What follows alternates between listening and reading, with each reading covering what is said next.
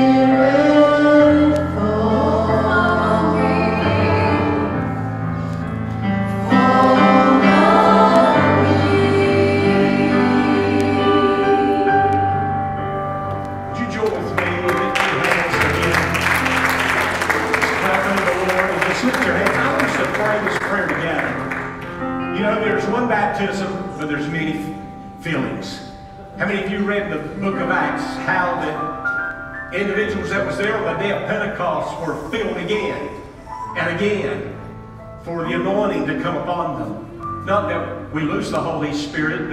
We need a fresh touch.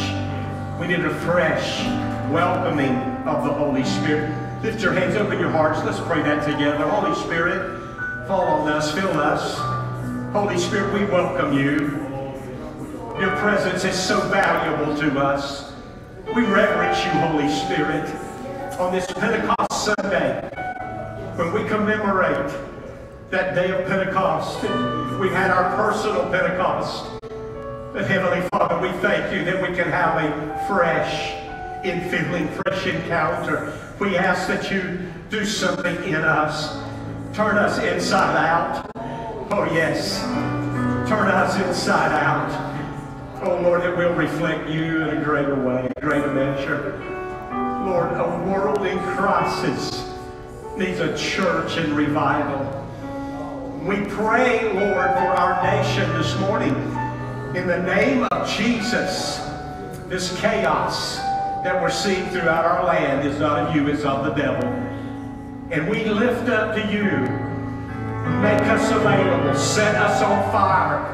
That we can go into our world and shine the love of the Lord Jesus Christ and the power of the gospel. This is the only thing that'll help us, Lord. We pray that every root of racism and prejudice would be burned out of us as we are filled with the Holy Spirit as your church. If there's any such thing in us, Lord, we need you. We thank you. We welcome you.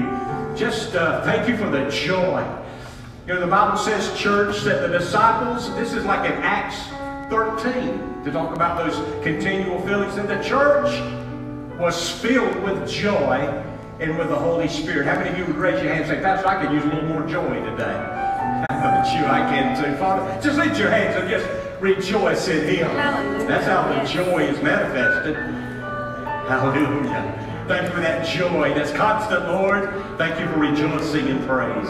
We bless you. We honor you. Oh, God's so good to us. It's so good to see you. Wow. You're looking good. Looking better this Sunday in the second service than you did last Sunday. You're looking good too at home congregation online. Would you turn around and wave at some folks? Wave at some folks. There's some up in the balcony. Let them know that you're glad to see them. Wow. How great is this? How good is this? Thank you. Thank you. Hey, uh, just want to give you an update. I was on a Zoom call this past Thursday morning. We needed to get back together as the state council and the district overseers across our state because we needed an update. Where are we with this thing called COVID-19 and physical distancing and all that? And so we have some recommendations. Uh, it's not a cookie cutter. Different churches have different situations. And then, as you know, the governor came out Thursday afternoon after we had our Zoom call. And he came out with extending the state of emergency until July the 13th, uh, July the 12th, excuse me. And now he's lifted some restrictions in some areas. And uh, having said that, and what we've just realized from Thursday, I'm going to be meeting with our uh, COVID 19 task force, our team here, uh, tonight at 6 o'clock. We'll meet in the in, in the uh, Smith Center. We'll social distance, and there's about 10 of us. And we'll meet and we will lay out a strategy. And first thing in the morning, we will start getting this information out to you, whatever changes we can make here. We know the governor did lift some restrictions uh, that would apply to churches. We're going to talk about that this evening, but we'll get that out by letter. We'll get out that out by Facebook. So uh, just stay tuned. And uh, as we've said all along, this is a very fluid situation, so we're just having to uh, we're just having to adapt sometimes quickly. And uh, but you've been so gracious, you've been so supportive, and I just want you to know how much I appreciate you. As always, as you leave right now, we're not passing the offering plates. We're trying to really be good in into social distancing, but you can give your tithe and offering as you leave. Uh, those of you that are walking, uh, watching by uh, live stream at home, you'll see the graphic come up and you can give online or you can mail the uh, contribution in to your church. And we so appreciate, so appreciate this. You have just blessed the kingdom with your faithfulness to God. I've said it in every service. We've just been amazed how that you have given more through these 10 to 11 weeks than you were giving before. And you were already a great tithing and giving church. Can we give God praise for that? If I read my Bible correctly in 2 Corinthians chapter 8, there is a grace of giving. Did you know that? God will give us a grace for giving. And I pray that over you. And, and thank you for uh, allowing that gift of giving just to flow through you and you're blessing the kingdom. We're blessing others. We sure are because of your faithfulness. God bless you. Turn your attention to the screen and let's uh, observe our video announcements. Welcome home, church family. It is so nice to have you back in worship with us today. Let's take a few minutes and just see what's on the schedule for the upcoming week. South Georgia camp meeting will be a little different this year. Rewind will be June 1st through June 7th, morning and evening services. All services can be watched on Facebook Live or live streamed at sgacog.org. We will be celebrating our high school and college graduates on Sunday, June the 14th. We will have gift tables set up for our high school graduates, Zach McCrory and Muriel Hayes. I hope that each and every one of you will come and help us celebrate their success. We are so grateful for your financial support these past few weeks. Since some of our church family can't be with us, tithes and offerings can still be given through our online giving at vitalitychurch.org, mailing 401 Patrick Street, or just come by the office. In your prayer time this week, remember the ones on our prayer list that God's healing hands will touch as only He can. You can stay up to date with all of our church events by following our social media platforms. Well, those are the announcements for the week, but we want you to know, should you need us, just give Pastor Merritt or the staff a call.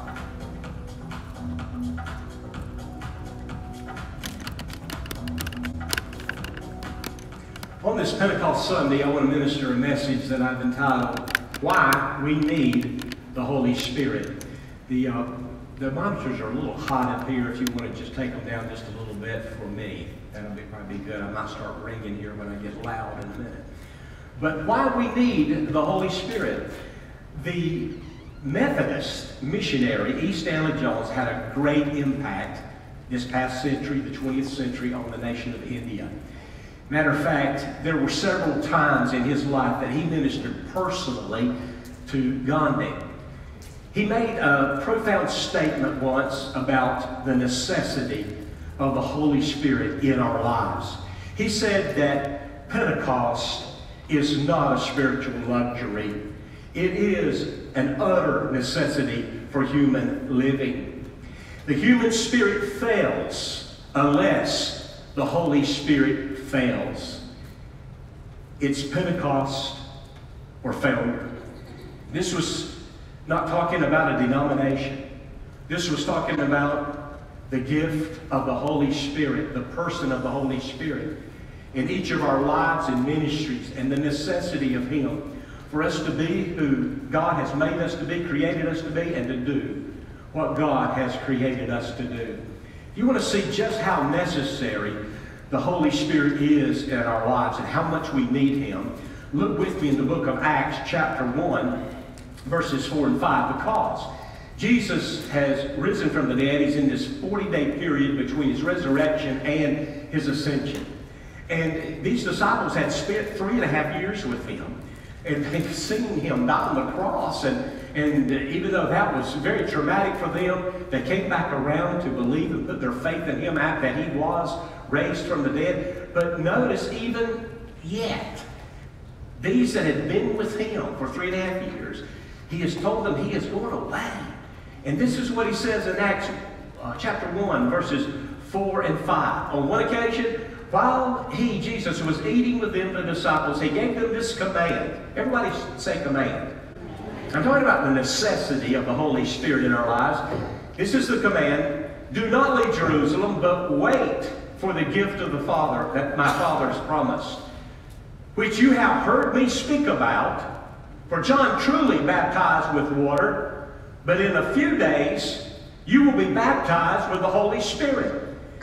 We know that in just a few days after Jesus made this statement, he ascended back to heaven. And 10 days, as a matter of fact, after he ascended back to heaven, it was the feast of Shavuot. And that feast was what we call Pentecost. It's also called the Feast of Weeks. It completed the seven week period between the feast of the first fruits at Passover and the completion of the harvest. Sometimes it's referred to as the Feast of Harvest. And they would come back to Jerusalem on this Sunday. It was seven weeks, 49 days plus one.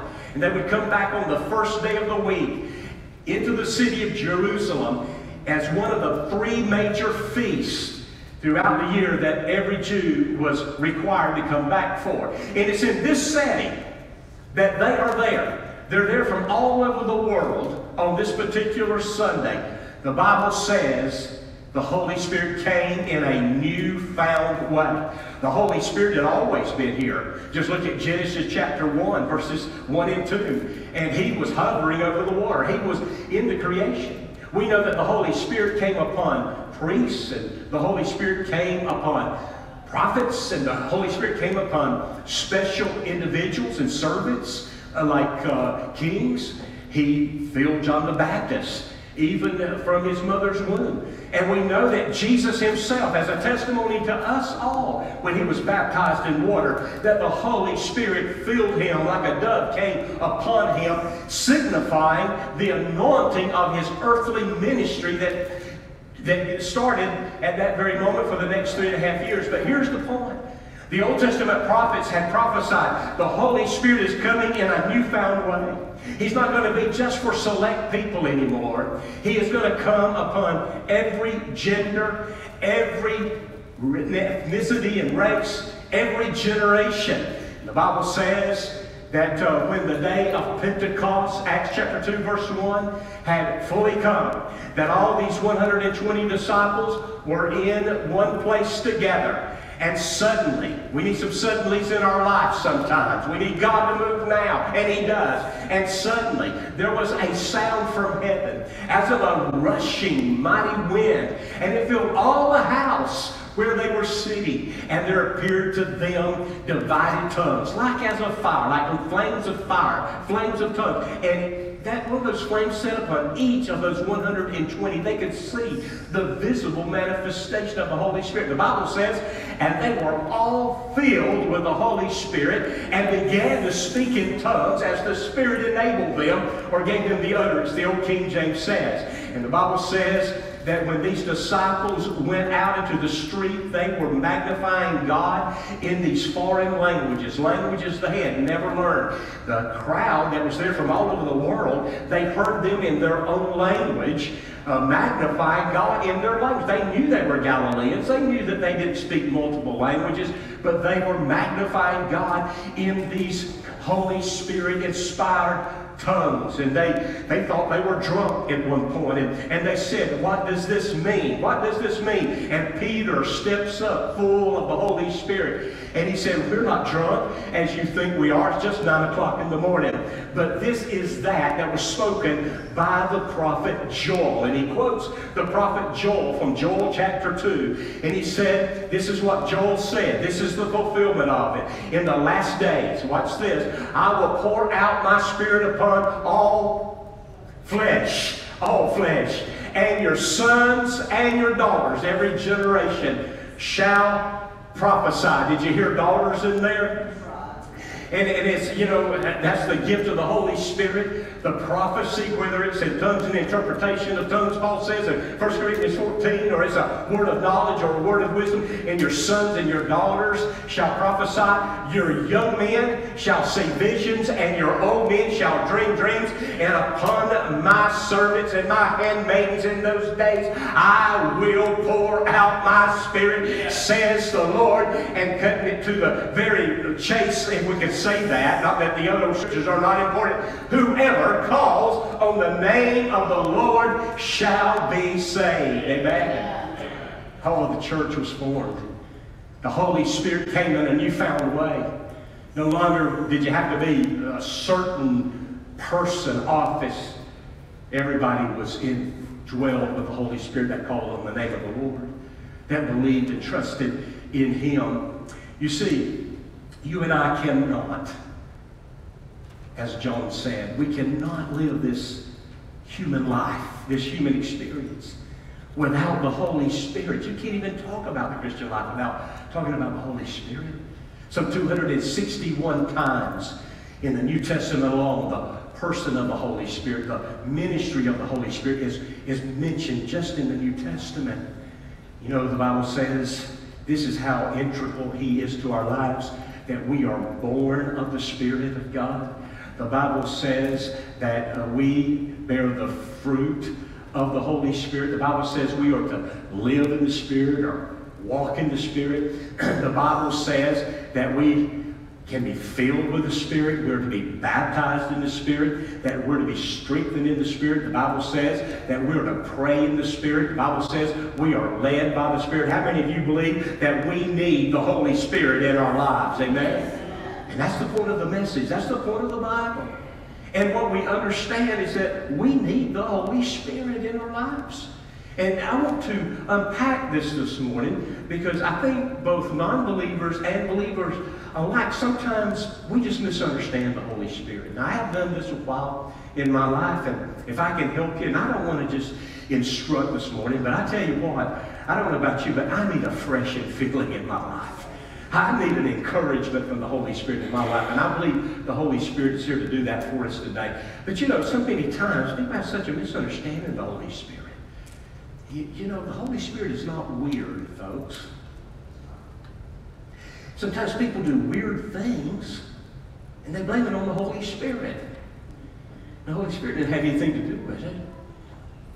You know, we are emotional beings, but the Holy Spirit is more than a, an emotional response. Let me say very quickly did you know that God has emotions? He is angry. He is joyful. He sings over us. He dances over us. Zephaniah 3. Yes, the Holy Spirit has emotions. That's not what I'm saying. But many times we don't, we, we, we are so moved in our own emotions that it's our emotions, and that's okay. I mean, you remember when Peter and John healed the lame man at the temple gate? He just got up and started jumping around. Well, the man had been crippled for 38 years. Who would get up and jump around, right? But what I'm saying is, if when I'm talking about this kind of thing, so many times we, we the Holy Spirit as some kind of impersonal force. He's not an it. He's not a psychic phenomenon. Here's who he is. The Holy Spirit is the third person, we say, in the triune God. One God, eternally existing in three persons. He is co-equal. He is co-eternal. He is co-existent with God the Father and God the Son. And here's, here's how I like to use my own definition here to explain how much I need the Holy Spirit in my own life. Here's how I understand Him. The Holy Spirit is a person with whom I have a personal relationship who gives to me many life-changing and eternal experiences. Salvation is an experience. The baptism in the Holy Spirit is an experience. If He uses anyone in my life or uses me in the gifts of the Holy Spirit, there are many experiences that He brings. He's more than an experience. He's a person. And the point is, I just want to lift up some things for us this morning that helps us love him and welcome him and reverence him and enjoy him more in our lives. And the first, I'm just going to give you two major headings this morning, two major points, and I'll work from those. But the first reason we need the Holy Spirit in our lives is because we need his presence. We need the presence of the Holy Spirit at work in our lives, involved in our lives. If you have not put your trust in the Lord Jesus Christ, you can't even be saved without the Holy Spirit's presence. If you are watching and you don't know Jesus, Every time you hear a message and or a friend witnesses to you, that drawing, that pulling you to uh, that, that feeling inside of you, that inner voices, that's the Holy Spirit working on your conscience, drawing you. See, there's a difference between conviction and condemnation. The Holy Spirit never condemns. Jesus said in John 3.16, you know, God so loved the world, but he said in verse 17, what? For God did not send his son into the world to condemn the world, but that the world would believe on him and be those that don't believe on me are condemned already. But when I talk about conviction, what I'm talking about is the Holy Spirit is drawing us to turn to the Lord Jesus Christ. There's a there's a, a brokenness that sometimes we sense, or there's a convincing that Jesus Christ died for us on the cross, that He is the Savior, that He is the Messiah, that He did take all of my guilt and shame, and all I've got to do is turn my life over to Him, and He will save me. He will free me from guilt. He will fill me with peace. He will fill me with joy in my heart if I will trust Him. Jesus said this to his disciples.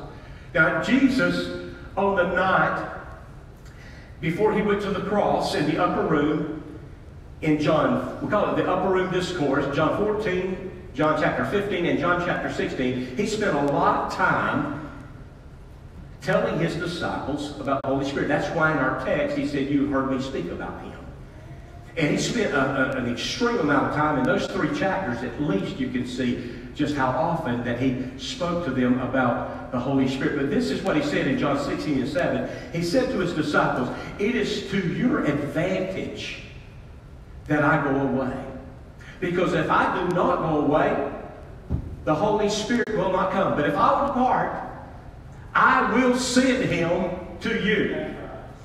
Jesus, how many of you believe he's the God man? How many of you believe there's one God and one mediator between God and man, the man Christ Jesus? How many of you believe that there is a man sitting at the right hand of God with the marks of humanity in his hand? He is the glorified Savior of the world, bearing our marks for eternity. Hallelujah. He's our mediator. He's our advocate. Glory to God. And what you and I know is that he's there and he's coming back again. Amen.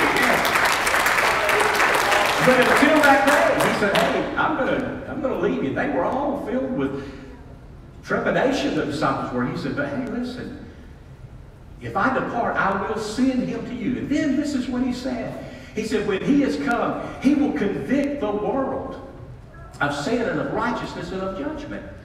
And that's the presence of the Holy Spirit in our lives, working in our conversion is the work of the Holy Spirit. That's what I want you to see, that His presence is at work in us in conversion. That's the whole discussion with Nicodemus in John 3. He's a part of the leadership. He's part of the Sanhedrin.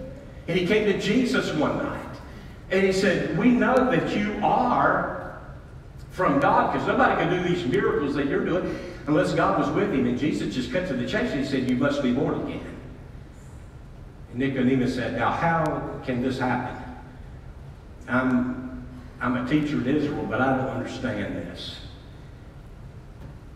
Can a man, when he is old, enter his mother's womb again and be born? Jesus said, No.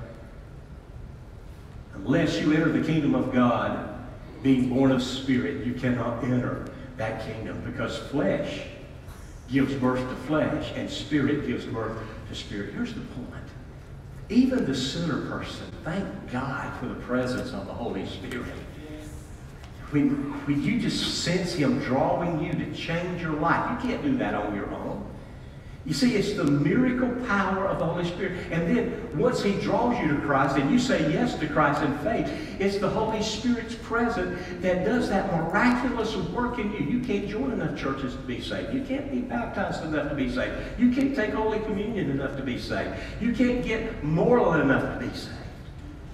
That's the work, the supernatural work. And I want to tell you, the greatest miracles I said to you a few weeks ago, the greatest miracle in all the world is that miracle of salvation because we can't save ourselves. And the Bible says very succinctly to us in Titus 3 and 5, it's not by works of righteousness which we have done, but it's according to his mercy that he saves us by the washing of regeneration and the renewing of the Holy Spirit. The Holy Spirit comes when we say yes to Christ and he makes us a new creation. All things have passed away and all things have become new. And at that moment, the Holy Spirit dwells in your heart. Romans 8 and 9 simply says this, that the Holy Spirit dwells within us because of the very fact that you and I, if anyone does not have the Spirit of Christ, he is none of his.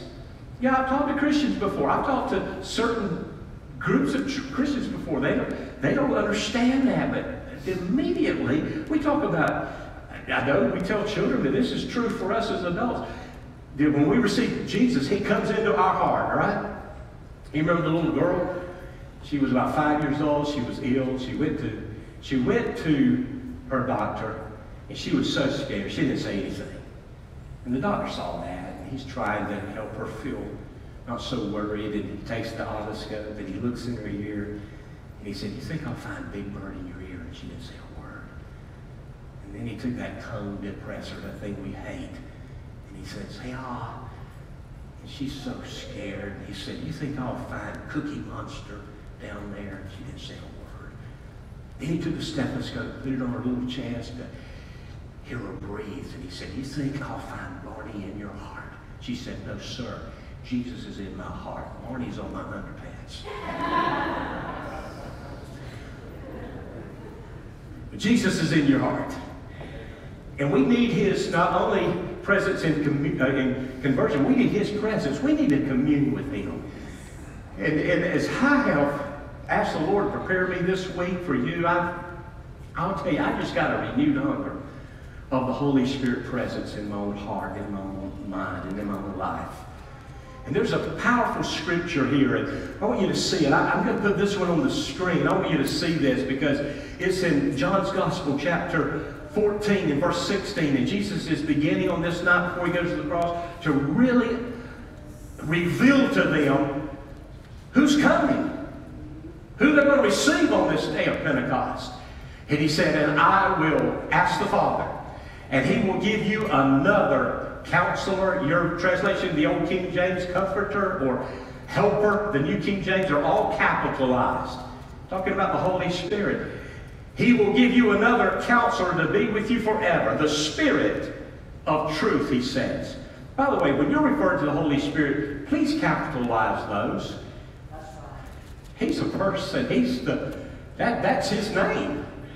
And um, and, and let's capitalize him. It, my spirit's a little S, but he's a big S. Amen. And, and he says, uh, the Spirit of truth. The world cannot accept him because it neither sees him nor knows him. But you know him, for he lives with you and will be in you. I will not leave you as orphans. I will come to you. And I love that because it tells me that he's going to be with me forever. It tells me that in my loneliness, and they're saying there's a lot of people going through this COVID 19, this sheltering in place. There's a lot of people that are going through aloneness. There's a lot of people going through loneliness, we say, and it's an emotion that probably all of us maybe have felt at one point in our life. But I want you to be reminded that while we need each other, you have a counselor inside of you, the Holy Spirit. Look at him this way He is your intimate friend. Have communion with him. Speak with him. What Jesus is simply saying is, yes, I'm leaving you physically. I'm going to go away. But the same person that was with you physically, though he is the Holy Spirit, he is coming to you to continue what I started. Now, here's the thing. We believe in the Trinity, but he says another. That word is allos in the Greek, and it means another of the same kind. It's a different word for another than you typically read. In other words, yes, we know that it's God the Father, God the Son, and God the Holy Spirit. But just as you experienced me physically, you're going to experience the Holy Spirit spiritually in your heart. How many of you have ever said, Boy, I would have loved to have been with Jesus while he was here on uh, those three and a half years, and, and, uh, and we would have really liked to have done that and gone through what we think he went through? How many of us, many times, I want to be alive when Jesus comes back? I do. I really do. But I want to tell you, the Holy Spirit is here just as real. And He is your counselor. Think about this. When, when you need, the, the word here is paraclete, and it's one alongside to help you. In some translations, it's advocate. And think of the Holy Spirit this way. You've got your own personal defense attorney inside of you. Every time the enemy accuses you of your past accuses me of my past, I want to tell you, you've got a defense attorney. He's the advocate, the NIV says. He is our advocate. And I want to tell you, the Bible says in Romans 8 and 26, we don't always know how we should pray as we ought to pray, but the Holy Spirit makes intercession for us with groanings that cannot be uttered. And he who searches the minds knows what is the mind. He who searches the heart knows what is the mind of the Holy Spirit, for he makes intercession for the saints, that's you and me, according to the will of God. Can somebody thank God the Comforter has come? The Counselor is here. He is inside of you, and you can have communion with Him in your life. He's the advocate. Jesus said in John 14 and 26 that you would have a personal teacher. When he has come, he will teach you all things. And John chapter John chapter 14, 26, he said that. John chapter 15 and 26, he said, when he has come, he will testify of me. In John chapter uh, 16 and verse 13, he will guide you. I'm talking about communion, folks. The Bible says in John 16 and 14 that he will glorify me when he has come. When I was a little boy growing up at the Bridgeport Church, I bet you sung it here too, if you've been in this church from 30, 40 years ago. Now, I love the new courses. I've always been able to move along with the current music. Doesn't bother me a bit. Now, it takes me a little while to get used to it, but once I do, I love it. Took me a little while to get used to TobyMac, but I like him. Great, great guy, great singer, great worshiper. But how many of you remember singing when you were young in church? He abides. He abides. Anybody? Hallelujah. He abides with me. I'm rejoicing night and day as I walk the narrow way. For the Comforter abides with me. And so he does. Here's a great benediction. We call it in 2 Corinthians chapter 13, verse 14. This is it. Listen to it. May the grace of our Lord Jesus Christ and the love of God. Watch this. And the communion of the Holy Spirit be with you always. Be with you all. And here's the point. That word communion is koinonia from the Greek, and it means fellowship. That word means partnership. You got a partner for life in your life. Amen?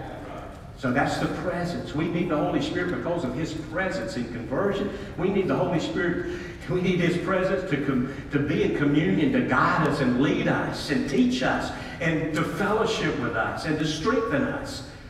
But then we need His power. We need the Holy Spirit because we need the power of the Holy Spirit.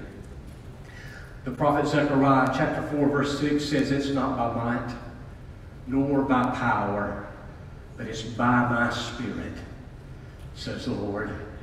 I just want to say, this world is in a crisis. We know that if you watched any news the last week. And this has been a tough year. And we've gone through this pandemic, and then on top of that, we're seeing this kind of chaos. And we're seeing what perhaps was racism and prejudice, and we, we deplore that in our hearts. And then on the other hand, you see a, a world in chaos. And as I said earlier, chaos is always of the devil. Chaos is always of the devil. What this world needs is a church and a Christian that's empowered with the Holy Spirit to love and to give love. And that's who you, you and I are in our lives. And I just want to lift up, these, these are going to be kind of quick, but they're bam, bam, boom. And it, here they are. First of all, we need the power of God for inner transformation in our lives. Inner transformation. You know, the preacher can't transform you. Your spouse can't transform you. I remember hearing a member of my church say to me one time, I was a young whippersnapper and preaching. She was an older saint. She said, Now, Brother Mary, you can't make us live right. I know that's right. I realized I couldn't make Wayne live right. one pastor became an undertaker, and he said, I used to try to straighten people out when I was a pastor. And uh, he said, now, he said, when I straighten them out, they stay straight. But you know, it's that inner transformation that we need in our lives. Turn with me in your Bibles, and this is the only time I ask you to do this, and I should have put this on the screen because I want you to see it, whatever translation you have. I'll read it from the NIV, but 2 Corinthians chapter 3, the second letter of Corinthians chapter 3, verse 17. I want you to see this, how that, that we need the power of the Holy Spirit. We can't transform ourselves. We can't we can't grow to be like Jesus. We, it's maturity before ministry. We talk about the power of the Holy Spirit, but we got to, first of all, talk about the power of maturity, those fruit of the Holy Spirit, right? And this is what it says in 2 Corinthians 3.17. Now the Lord is the Spirit, and where the Spirit of the Lord is, there is freedom. What's verse 18? And we who with unveiled faces all reflect, all, everybody say all, all reflect the Lord's glory. Would you look at your spouse or your neighbor or your friend, whoever you're sitting by, and say, I see a little bit of Jesus in you? Can you do that? I see a little bit of Jesus. Maybe you see a lot of Jesus. But he's not through. The scripture's not through. He continues. We are being transformed into his likeness with ever increasing glory. Now look at your spouse or your neighbor and say, I need to see a lot more Jesus in you. you know, we call it born again for a reason. We got to grow in grace and in the knowledge of the Lord. And I got a, lot of old Wayne in me, and uh, he's going to hang around till I go to Jesus, go to be with Jesus, and I will get a glorified body. How many of you know that's right? It's a process in our lives. And he, he says that with ever increasing glory, which comes from the Lord who is the Spirit. And only the Holy Spirit, only He can cause us to reflect like the Lord and work on us with that old nature, that stuff that we brought with us into this new life. It's a process of transformation with ever increasing glory. Hey, I heard about a fifth grader who was asked to write a paper on Quakers, and uh, he said, uh, Quakers are very mild, meek, tempered people that don't raise their voice nor act out of anger. He said, My father is a Quaker. My mother is something else. Well, you got Jesus in you, but you got something else too. You got that old person that hangs around that he's working on and he's maturing and he's developing and he's helping us to be more and more like him. Speaking of the Quakers, I heard of the old Quaker that bought a dairy cow that was very obstinate. And the Quaker, every time he would start milking the cow, he'd get about halfway through and the cow would kick over the bucket. And he'd go back, set up the bucket, start milking again. The cow would kick over the bucket. One day he got really, really frustrated. He broke Quaker. He got in the cow's face and he said, Madam Cow, if you turn that bucket over one more time, I cannot curse thee. I can